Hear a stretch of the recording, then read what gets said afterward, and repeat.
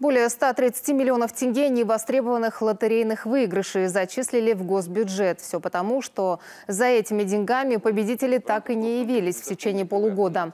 Как сообщил сегодня вице-министр туризма и спорта Мирас Тулебаев, призовой фонд всех лотерейных продуктов в прошлом году достиг 305 миллиардов тенге.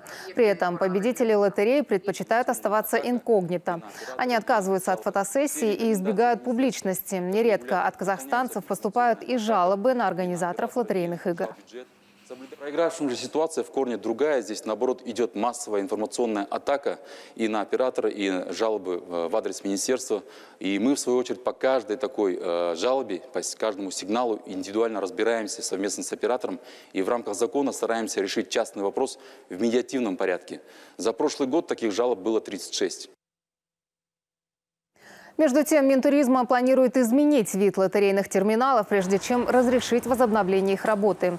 Это делается, чтобы исключить их визуальное сходство с игровыми автоматами. А вот лотерейные терминалы на вокзалах, продуктовых магазинах и торговых центрах демонтируют. Их планируют расположить в специально отведенных магазинах.